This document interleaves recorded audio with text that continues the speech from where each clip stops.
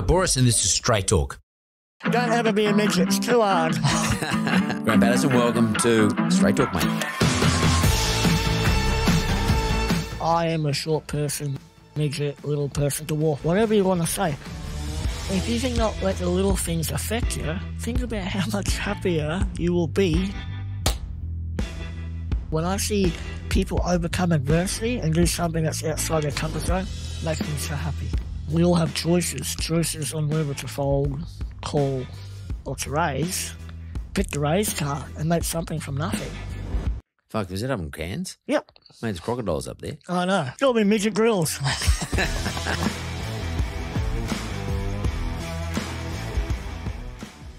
Grant Patterson, welcome to Straight Talk, mate.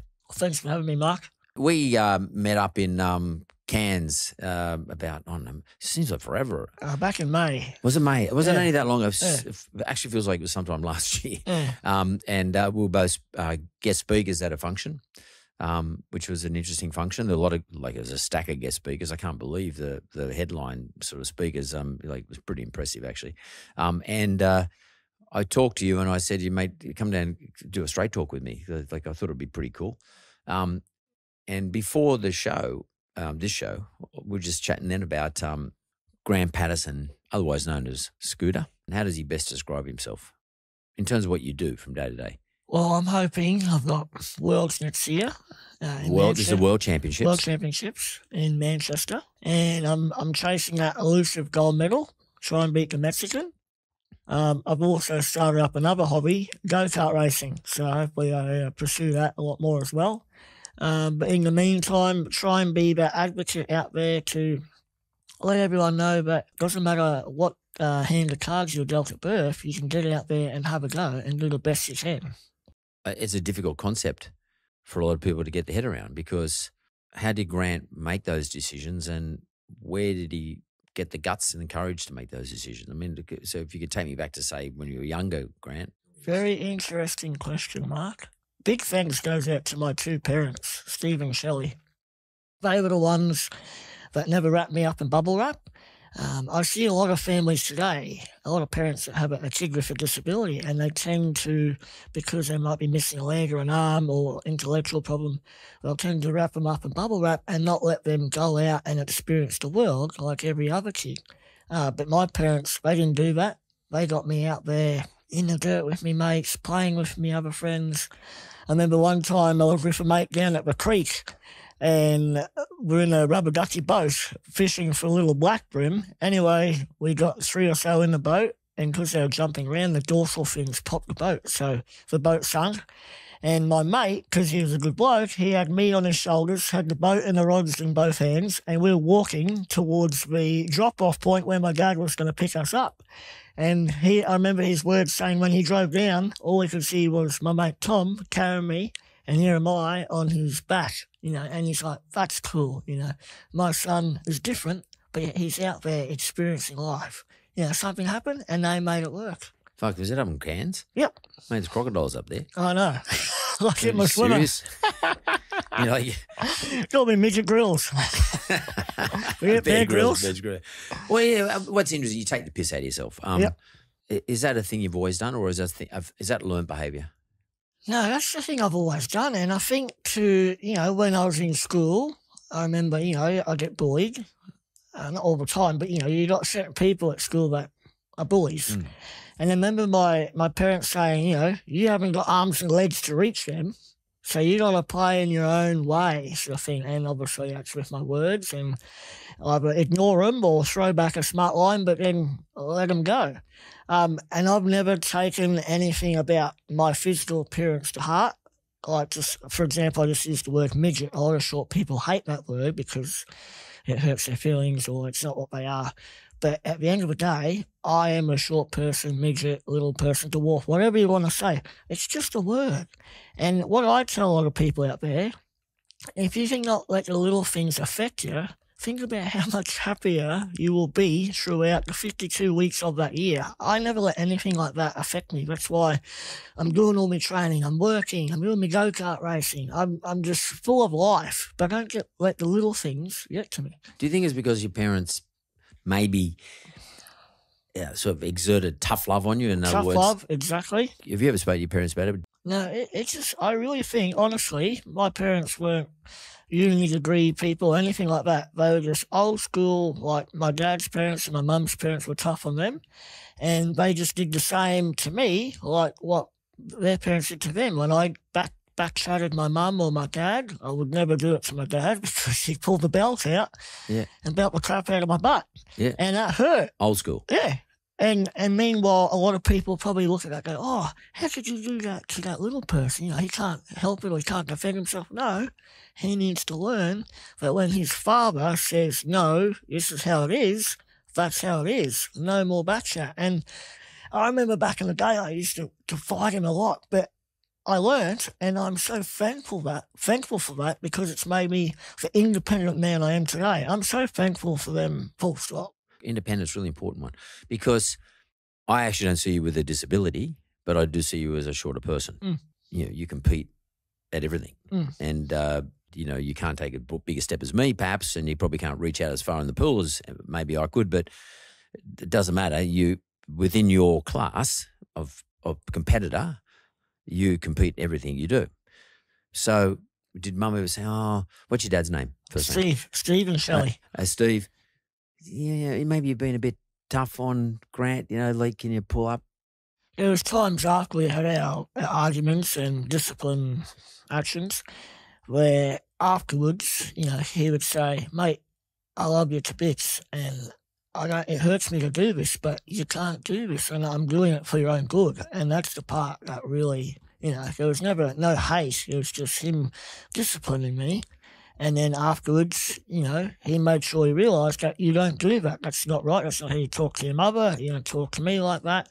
And that's how the world works. And it definitely wasn't like a, a horror house or Yeah, anything. yeah, but it's just good old discipline, which has disappeared in the younger generation today. I think you would agree. Yeah, well, I have four sons, like, and uh, they were all of them were a nightmare in different ways to me. Um, and I was a sort of a single father. I have to say now that like I did not spare a good whack for my kids if they deserved it. That's it. I don't give a shit what anyone says or doesn't like it or whatever. I mean, they're none of them are scarred or sort of upset. You know, they're all fine. I don't think there's any reason to, because society doesn't accept this. There's no reason to put them in a cotton wool and uh, and keep telling them everybody owes you a living. Correct. Because at the end of the day, no one gives a shit, Correct. and you've got to go out and make your own trouble. You know, stand for something, be skilled at something. Now you have developed a skill, which is you're a naturally funny dude, but you got a unbelievably good story to get off your ass and do something about it. How the fuck do you keep doing that every single day of your life? I mean, where do you get the gumption? I ask myself that question sometimes. I, I've come back from Portugal and I've got nothing now until next year. So when you I've say nothing, you've got no more games no until more year. swimming racing, Yeah. doing go kart Yeah, yeah, yeah, racing, yeah, which yeah. is totally different. But you need to be fit for that. So I've told my coach, I said, I'm just going to do six sessions. Swimming in Yep, the pool. Well, two gym, four swim, and just take it a bit easier in the afternoons. Um, because you also, I think what I've learned over the last four years of my swimming career is you only live once and you got to make, make the most of every moment you have on this planet. And for example, I've just done my major comp in Portugal a month ago. The next six months, I want to enjoy it a bit more before it ramps up before Manchester next year.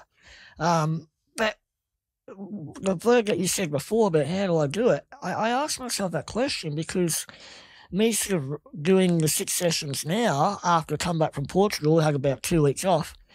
It's like, oh, you know, and, and I'm looking to try and make Paris, LA, and then the end goal is 2032 Brisbane. I don't know how I'm going to do it, but.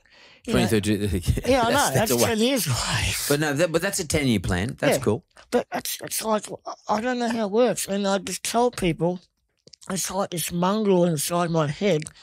And, and it could be an enemy of me one day too, because it just doesn't know when to stop. It just, it's just hungry for success. And I think that's a good thing in a lot of ways, but also in other ways of sort of settling down, you know, maybe finding a partner one day.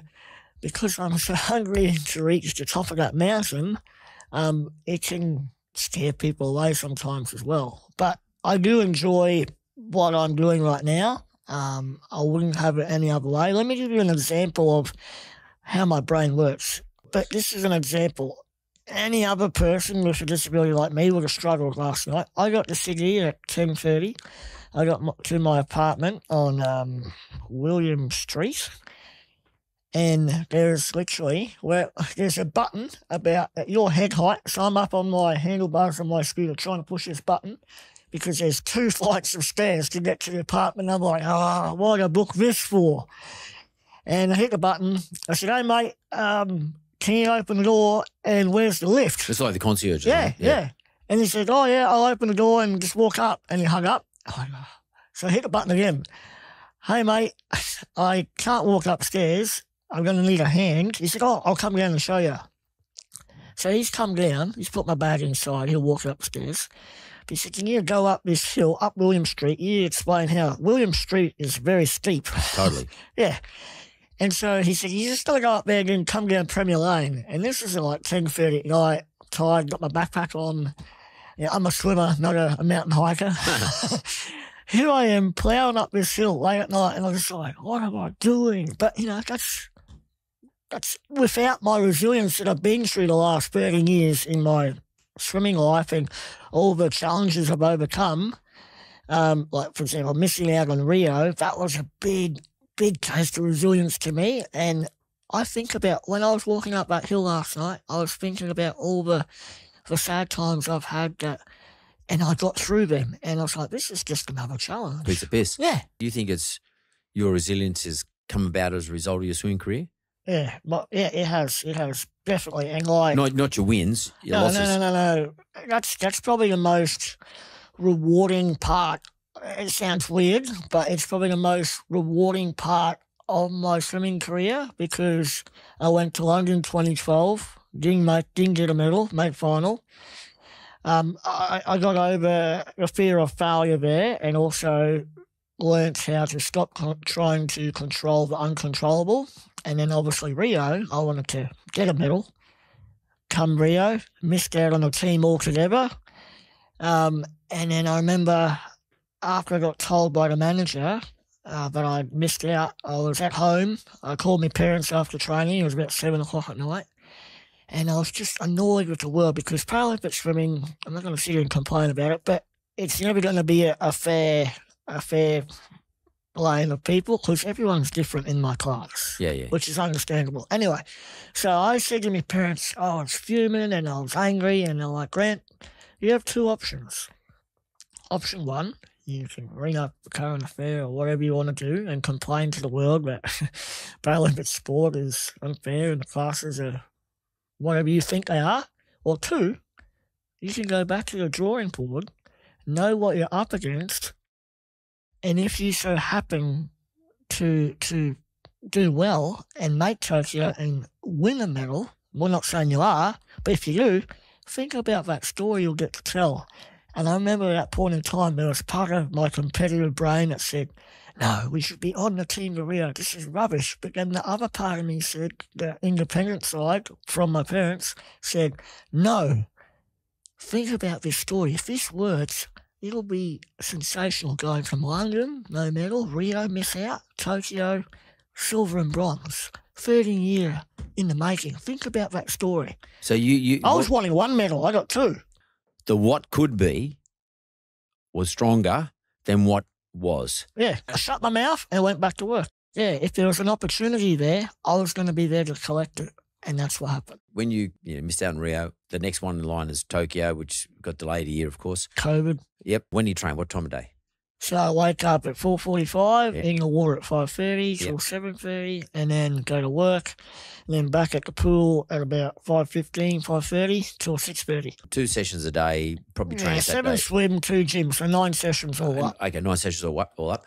So you're waking up for five years. Whoa, 13. But Well, no, but uh, post Ah, Rio, Rio, right? yeah, up to years. leading up to Japan. With the prospect, by the way, could fuck it up too. You might not Yep. get to Japan. Yep. Yeah, it could have and, had, and then the whole COVID thing come into it. and And you I had remember, COVID sitting on top of you. Yeah. So you're up there in Cairns. You train in Cairns? Yep. Fucking alarm goes off, um, and you jump back in the pool. And I look, I, I've done swimming. It's like To be honest, like it's You by fucking hard work. Yeah, you're by yourself. both if you're looking at that line, Yeah, you're going up and down, fever. and you get in your own head Yeah. because there's no no music. You know, can't put Nope. headphones on.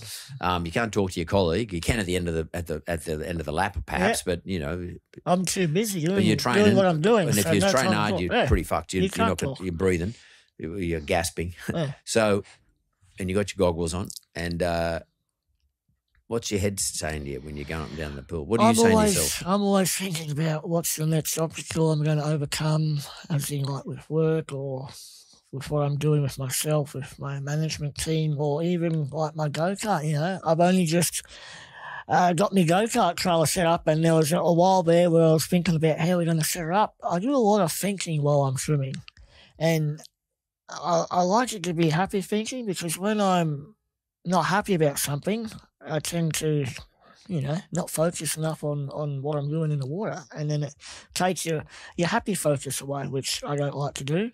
Uh, but swimming is uh, definitely, uh, well, medically and physically, it's good for my body. Yep. But mentally, it's great because you go in there, there's no one around, no one can call you, nothing like that.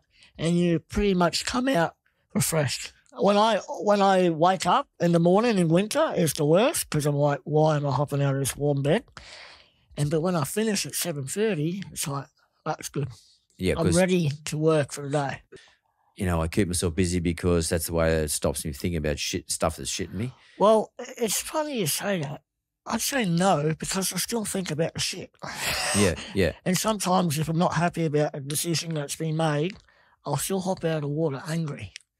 And I go home thinking about it. yeah, yeah. But I'll never, I'll never showcase to people, and I'll never, I'll never do the wrong thing by anyone else. I might talk to my coach. Oh, you know, I've had a shit decision today at work, and you know, we'll have a quick chat, and um, off I go. But I'll never lash out or anything. But I'll, I'll, yeah, I don't think it definitely doesn't fix it for me, but it takes, I think, takes a lot of that because.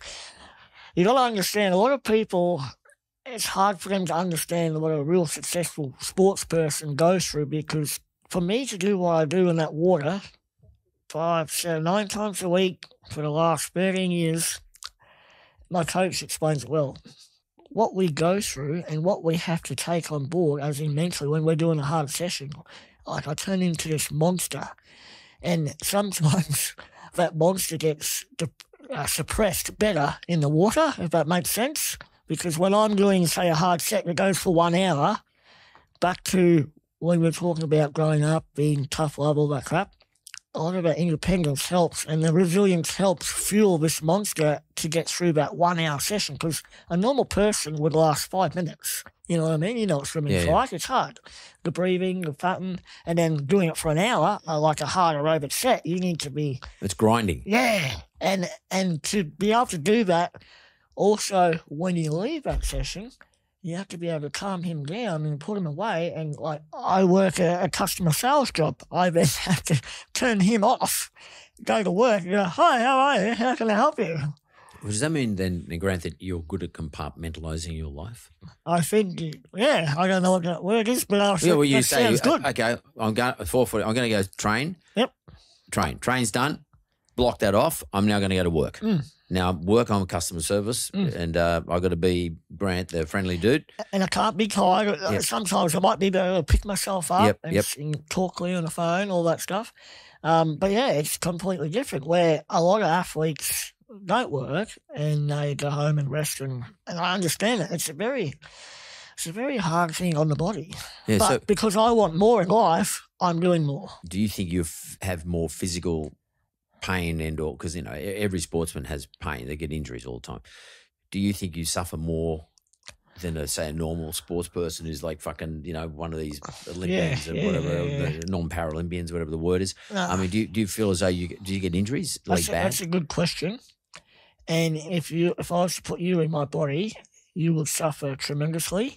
But over the years, I've adapted to it, and I've built up, I've built up a tolerance. Yep. My part of my disorder, diastrophic dysplasia, is obviously short stature, short limbs, and curvature of the bones, and lack of cartilage in all my joints. in all your joints. Yes. So So you got arthritis. Yes, pretty much. But because I'm used to it, I don't actually know any better. It's funny how your brain adjusts, Yeah. adapts. Yeah, but I, I remember when I was starting, it was hard work. Even like having a couple of days off and get back into serious swimming.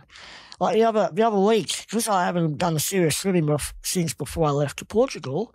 Um, I was happy for this young fella. I normally smash him in the pool. He, for example, I'll do a seventy-five. He goes a one twenty-five, and normally I'll cream him. But I got beaten.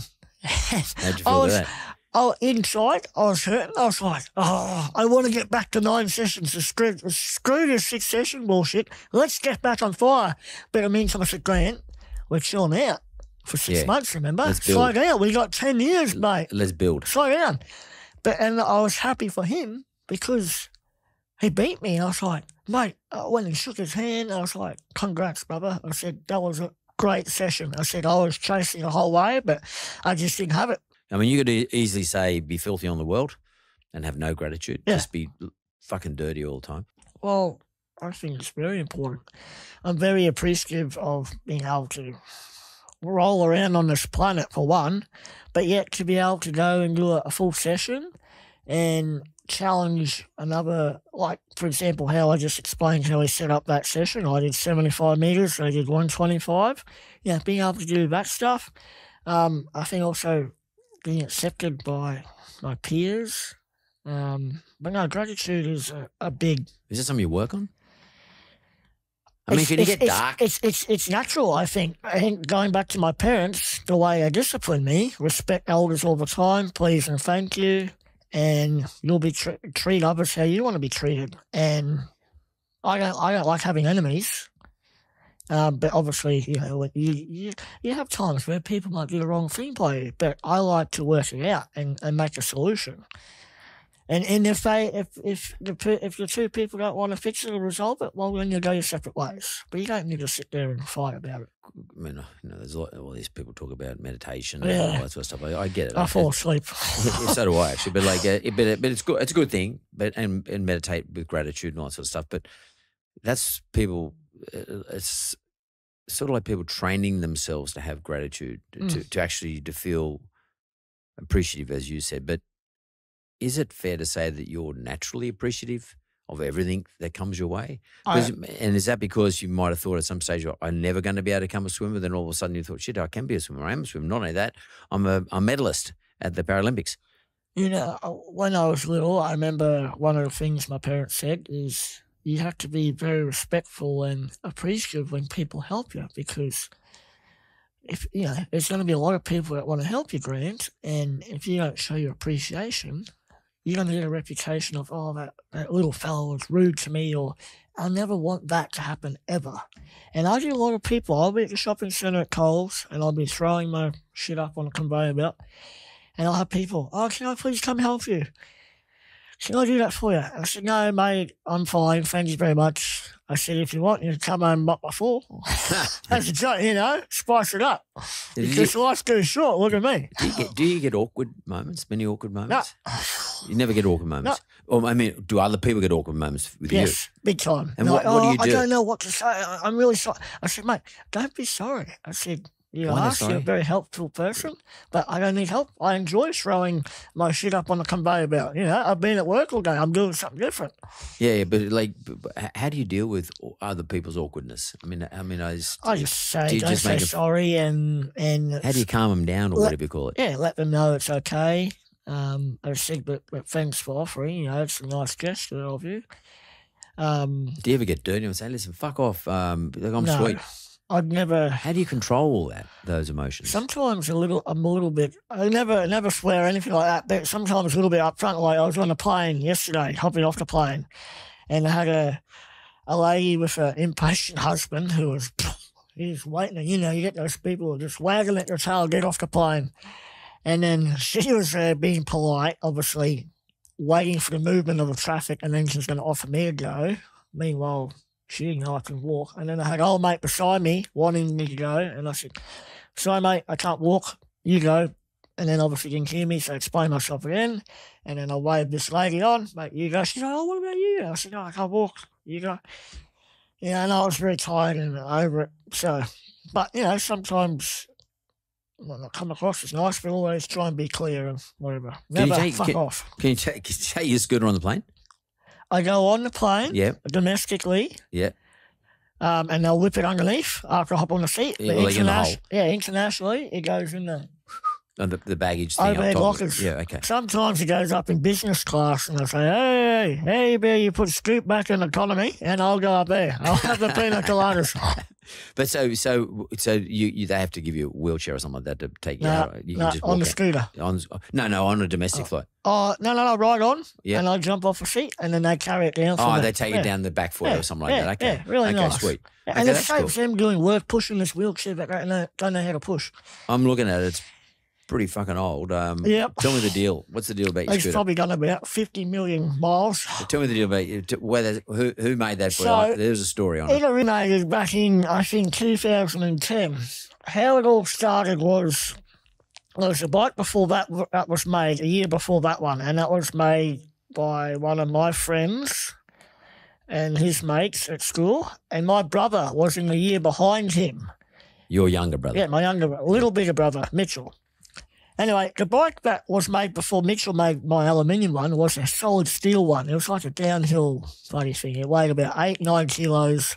And I, I loved that they made it for me, but it was heavy to lift in the car because Yeah. how I drive, I um have all my mods set up, but I lift the bike up over the steering wheel and put it in the passenger seat. Yep. You ride shotgun.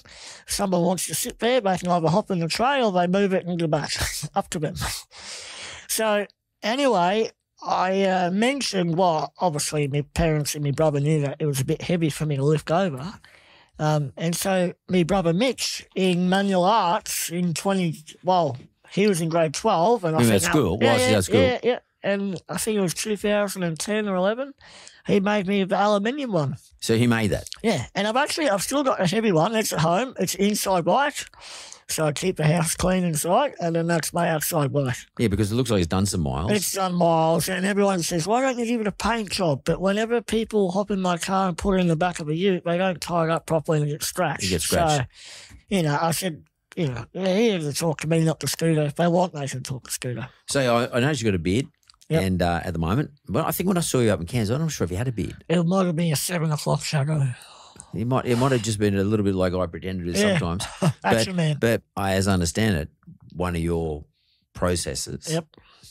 let's call it superstitions. Traditions process. Is Like it a Rafa. superstition or a tradition? Oh no, tradition. Tradition is that you grow a beard when you're training. Yeah. Yeah. So right now you are in Well, I'm not training. quite yet Yeah. uh, into the serious end of the world's next year. Manchester Okay. and then Paris 2024. So yeah, so 2024. So the world's next year is is that important for you? Do, in terms of qualifying Stepping for stone, yes. is part of the qualification process. No, but it's it's good to be able to know that I'm I'm doing well leading up towards um, Paris. Right, you so- know.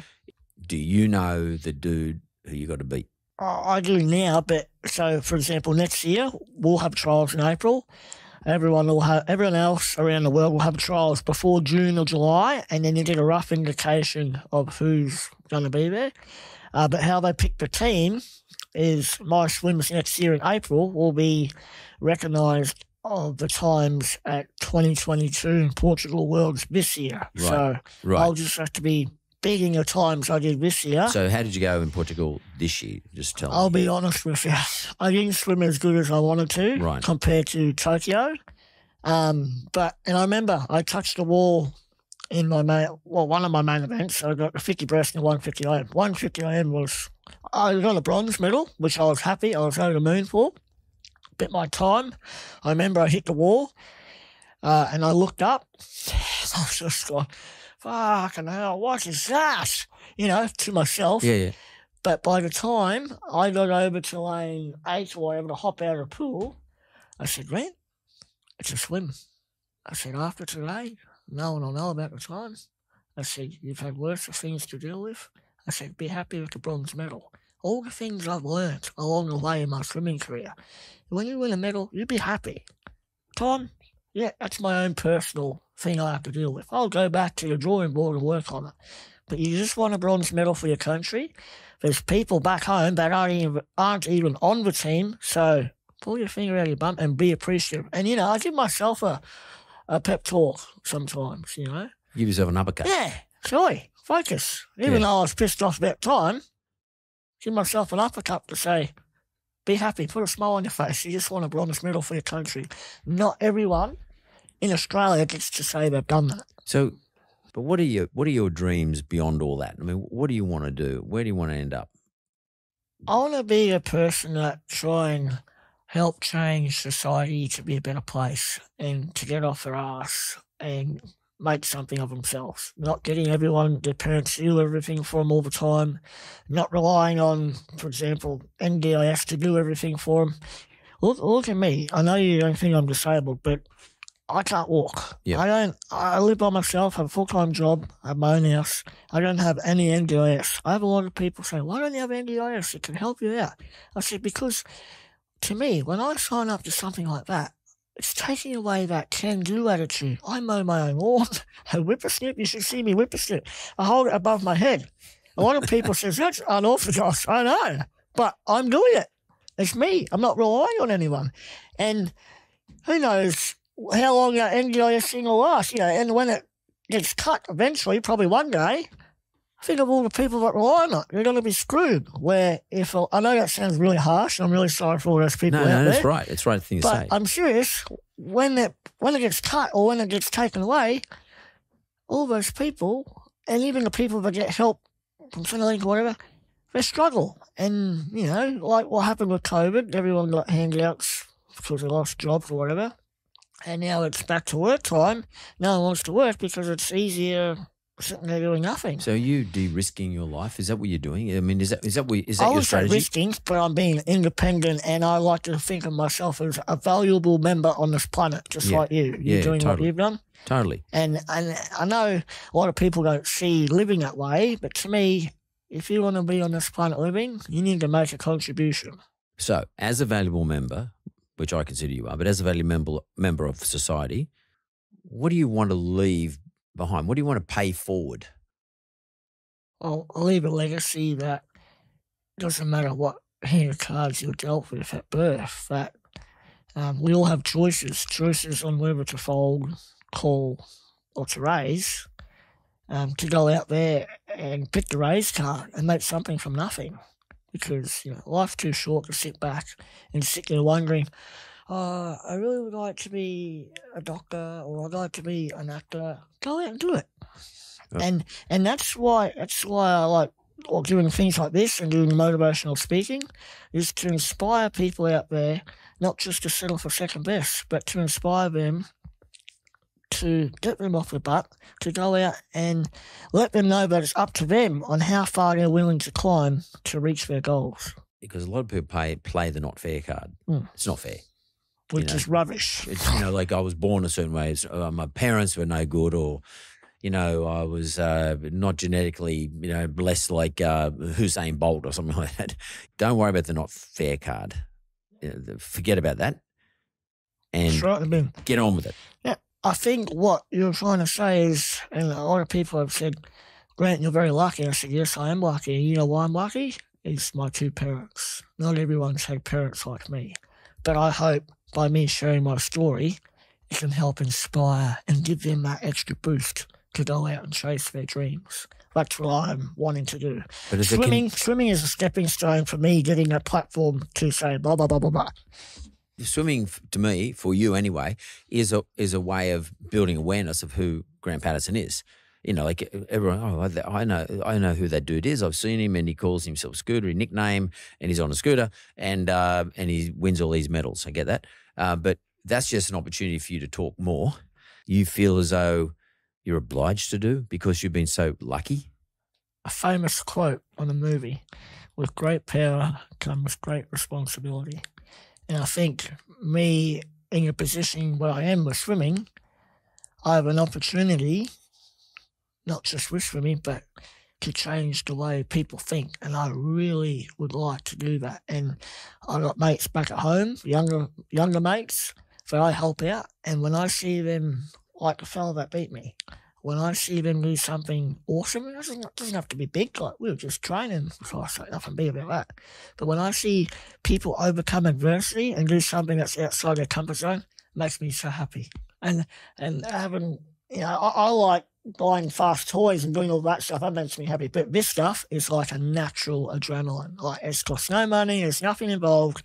But I've watched, I've given them a bit of help, and I've watched them go over that that pressure zone, and to see them do well, that makes me proud. And it's a bit like you know, how my coach and I work. He, he's ecstatic to well, I'm ecstatic to be with him for 13, 14 years, and same for him, I would say. It's just like with my, my personal trainer, Karina.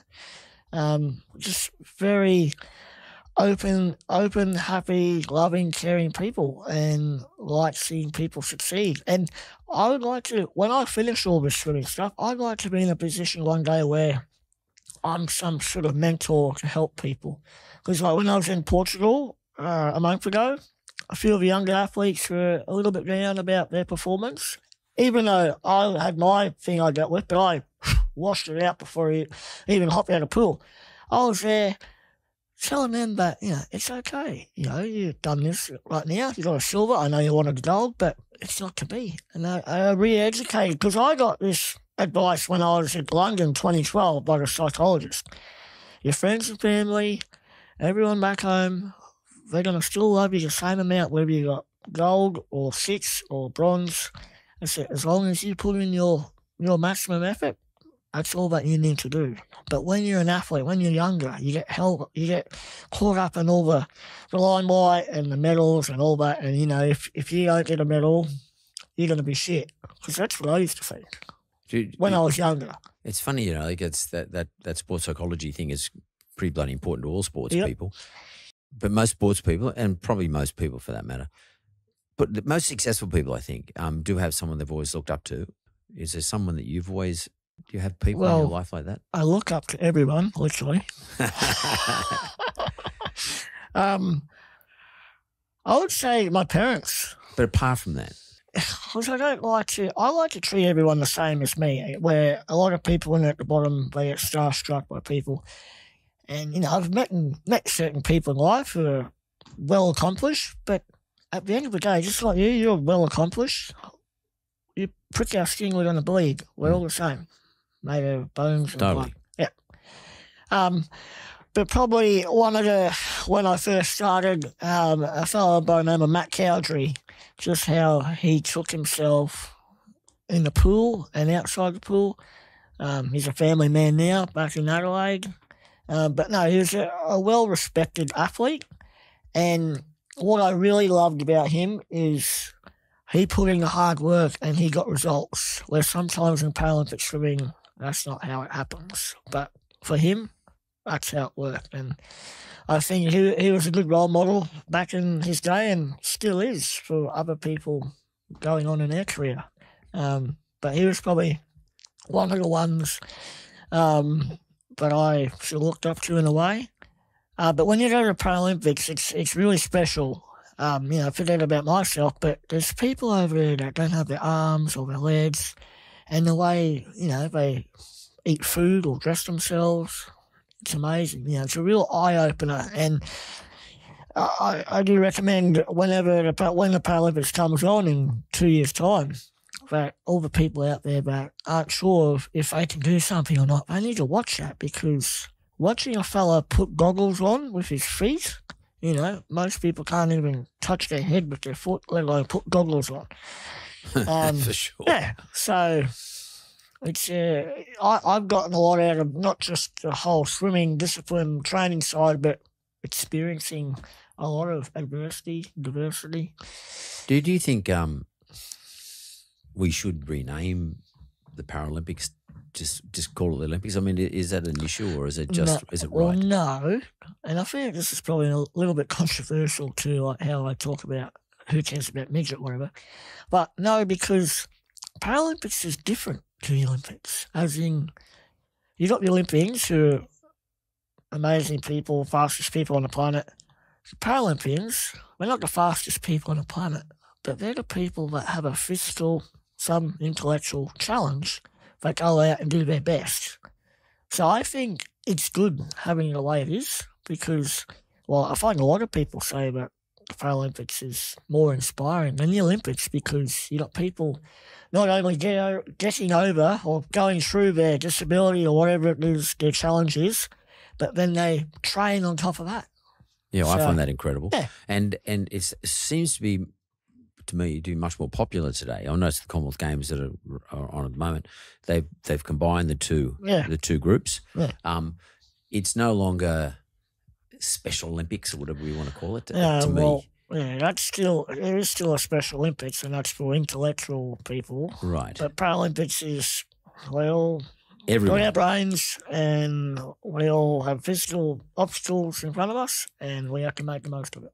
Yeah, so it's about people overcoming, let's call it adversity Yeah. in in day to day. Yeah. But it's not just it's not just getting in the pool and doing well. As you said earlier, it's, it's about the extra effort that it takes to train and stay committed Yes, every single day. Yeah. And you train as much as a normal uh, Olympian who might be doing, you know, two sessions a day, whatever, five days a week. So, um, but you know, th- they don't have to catch planes and struggle on planes. It's, it's just an extra struggle all the time. You just got to do something extra all the time. You know, like as you said, you were trying to press the button. yeah, and it- it, it's just extra effort.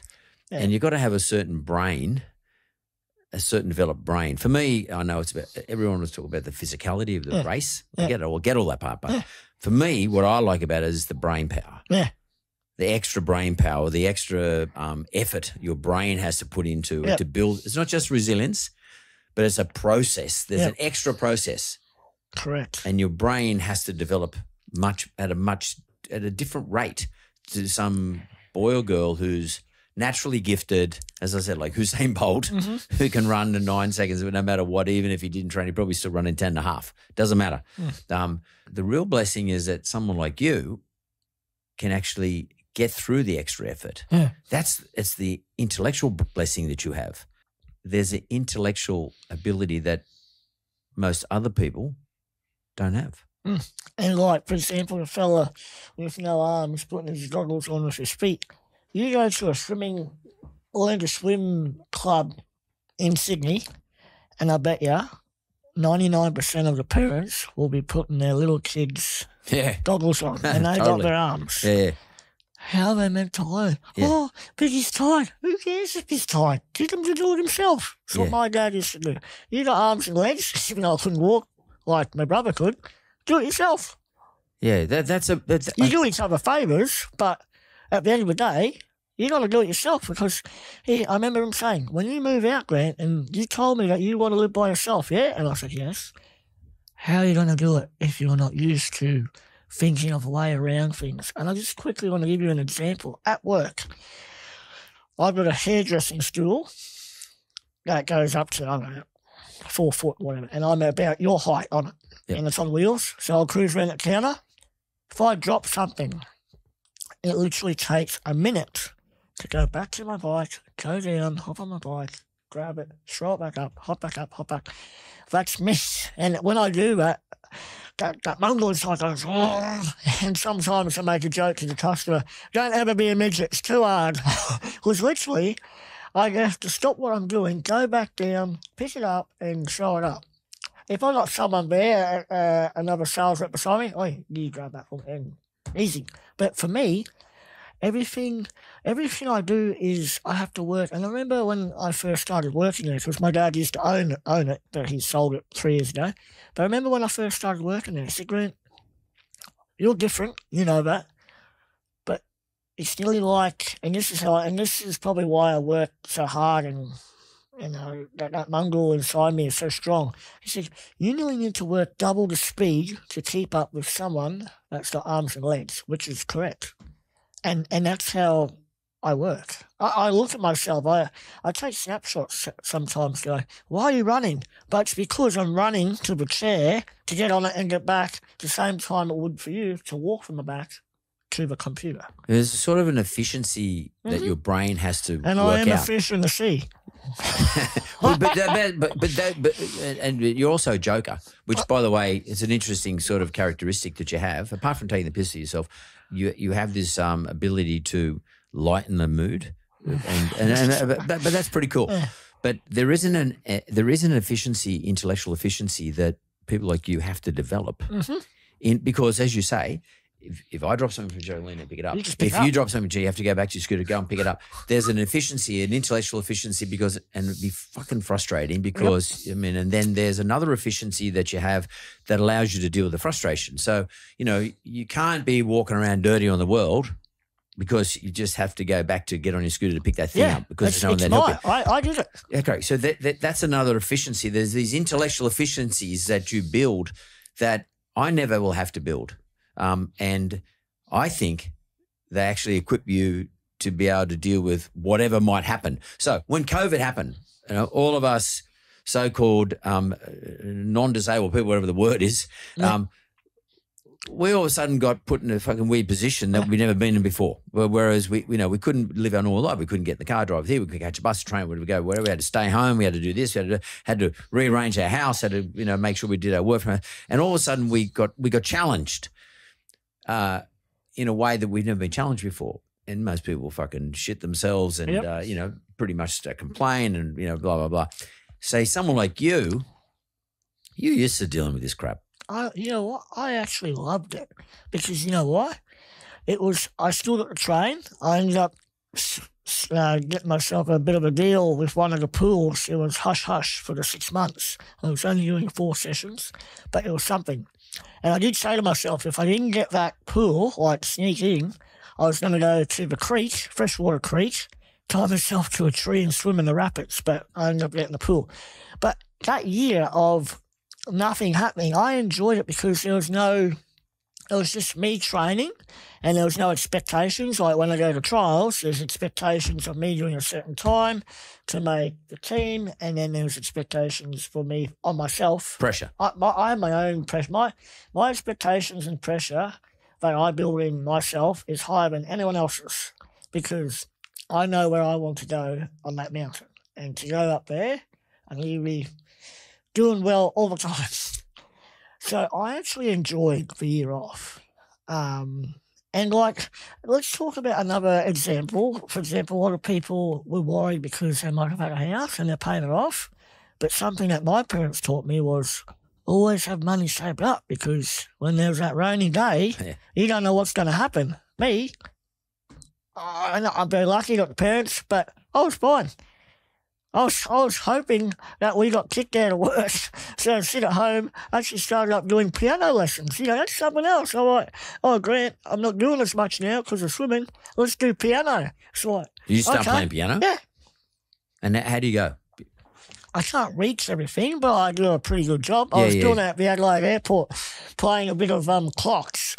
Elton John and Chris Martin inspire me in that. Uh, Yep. I love them. I've seen seen both of them live. Haven't met them, but it'd be awesome. But um, I was just having a humble, having a little play at the Adelaide Airport on that piano, and one of the fellows was watching. But I, I get the biggest smile on my face when I can nut out a song because I think it's part of the reason why I do the motivational speaking. I love, I like entertaining people in a way, and and sometimes my talks I get carried away, and obviously I get to do a few jokes, not on purpose. It's just me taking the piss out of myself, and I realise what I just said. I said, oh, you know, um, but um, I but it just seems like there's nothing in your mind, nothing you can't do. yeah, and that's what I like to portray to people. But Is there, is there some wish that you've always had? I'd like to be a singer because my voice box isn't designed for singing. I'm like a cat in a Join- bucket. Mate, it's so join the- But I I, can't sing. reckon I would rock the crowd because I've got that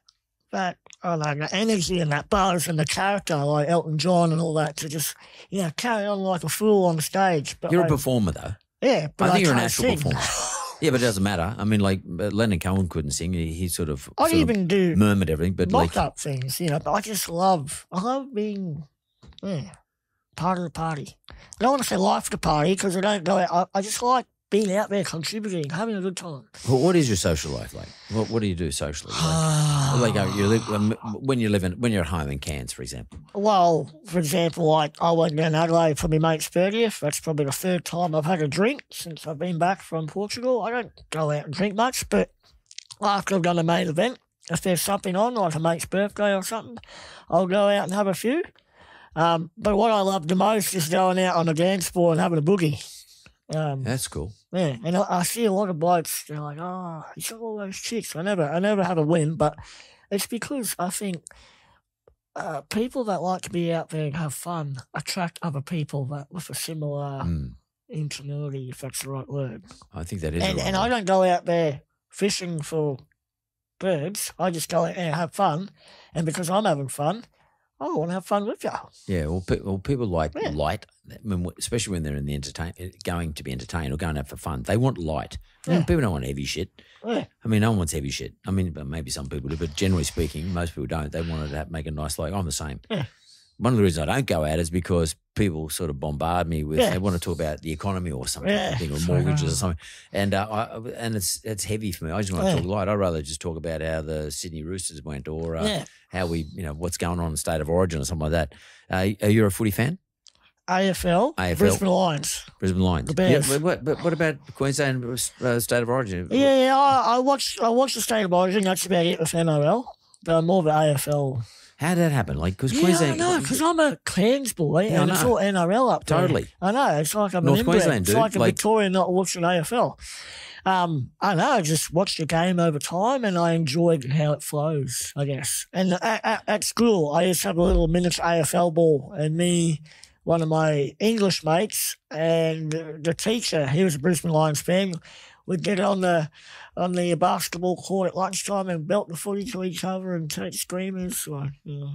So, but, so that, that's. Well, I'm a Collingwood fan, so everyone Dirty hates us. pie. Everyone hates the pie. Yeah, well, they hate Good us. pie's like- dead pie. Yeah, I know that's what everyone says, but like, I mean, I, I know I got uh, I got it sort of inducted into the Pies through Eddie McGuire because Eddie and I were, were mates, well, still mates, but like back going back. You remember years ago. back in 2002, 2000 and, we took over sponsorship of Collingwood in 2000 and 2002 and 2003 when you lost two in They a were row. dreadful. That was sad for Yeah. you. How did you feel? I, I wasn't happy, Yeah. and uh, I'll tell you why. It's a quick story. Okay. Is Eddie came along to me. He said, um, uh, we, uh, "We were in, at that point. We were my company called Wizard. We were sponsoring um, the uh, preseason competition and uh, AFL preseason competition, and uh, I knew that um, NAB was trying to resurrect its brand, so NAB was always going to outbid us. Yeah. So Eddie said to me." Um, um, Ahmed Fahour, who's a friend of mine, Ahmed was the boss of NAB at the time, and Ahmed was a mad AFL fan, and um, Eddie was finding out from Ahmed exactly what was going on and feeding me back. And I was finding out on Saturday mornings when I was at footy with my kids and stuff. And uh, so I let Ahmed, in the end, I, I knew Ab, NAB was going to outbid us. So Eddie said to me, listen, they're going to outbid you, mate. He said, but uh, don't worry. He said, oh, um, we've lost our sponsorship, which was the RTA, whatever it was, like the Roads and Traffic Authority, the equivalent of that in Melbourne, Victoria, because one of their players had got caught drunk driving. Yeah. So he said, you can go on our away jersey on the front and home jersey on the back, and we'll put you on there. And he said, look, because we've come last in the competition, or something like was very close that, he said, um, it's only going to cost you about a million bucks a year. And I said, oh, okay, that's cool. Because, you know, like that, that was a fair price for the business. So I agreed to do the uh, sponsorship, and we did the sponsorship. And he said, but but in the contract it said, but look, by the way, if we get to the top eight, we get a bonus. If we get to the top four, we get another bonus. And we get to the grand final, we get a bonus. And we get to the we win the competition, we get another bonus. What I didn't, and I thought, well, they've come last. There's no way it's going to happen. So they they they got belted pretty hard. And I think it was about 2005 or six that I started this process, this uh, sponsorship. And of course, they got in the top eight. They got in the, uh, then they they worked their way through the top and they ended up in the grand final. And it, the sponsorship went from a million dollars to two million dollars. Yeah. Now Eddie was my mate. I nearly barred him for life. Yeah. Um, but but I thought to myself, I stood back. I thought, how clever is that dude? Yeah. And and I mean, I know he's not there anymore Yeah. at, at Collingwood, but the guy was, I for me, I became a Collingwood supporter because of it. But for me, the guy's legendary in the way he looked after his club. Yeah. Sure, he made some mistakes, but he would do anything for his club, Mm. anything, literally anything. And I, I didn't realize how powerful AFL um, fans and or AFL culture was until I experienced that with Mm. Eddie McGuire. I mean, it was quite a formidable sort of experience. I mean, sure, it cost me a lot more money. And we, Yeah. by the way, we got good outcomes because, you know, Collingwood, whilst not everyone loves Collingwood, they're broadcast. Everybody watches them. Yes. I mean, and you might hate them, but you Yeah. still see the branding. Yes, I the hate them, but they're everywhere. Yeah, but, and uh, totally. And uh, but I, I just found it quite incredible how how culturally strong AFL is. I mean, rugby league is too. Don't get me wrong. More so now than it ever has been. I think. Yeah. But it was a great experience for me. I mean, I, lo- I really enjoyed that. But uh, I, I we're running out of time, mate, and uh, I, I really appreciate um, you coming. F- you know, on your way back to Cairns through here to, to sit down and talk to me. Mm. Uh, I want to, and I've been thinking about this the whole time as we've been talking. Um, and you, as you as I said earlier, you take the piss out of yourself and you call yourself midget and all that sort of stuff. Person, short. But I'll, but one conclusion or one realization I've had from this talk, and I would never realize this until I actually had an opportunity to sit and talk to you, is uh, apart from my own gratitude, being able to understand a lot more how people like you think, Mm. is that I would describe you in terms of the way you approach everything and the way ultimately that you achieve everything. In other words, the process of achieving what you achieve, not just silvers and bronzes and hopefully one day gold, and not just independence, but I would describe you as a big man.